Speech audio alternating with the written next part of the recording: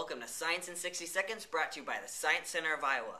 Slime is a great experiment that you can do easily at home. Here's what you need a zipper bag, a half a cup of school glue, mix it on in,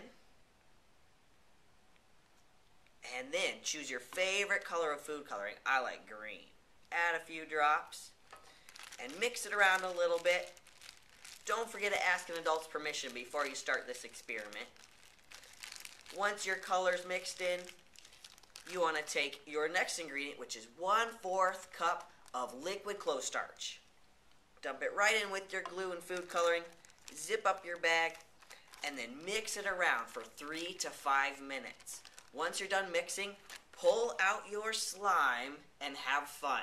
You can bounce it, you can stretch it, blow bubbles with it. It's a lot of fun, and if you put it in a zipper bag, it will keep for a few days, so you'll still be able to play with it.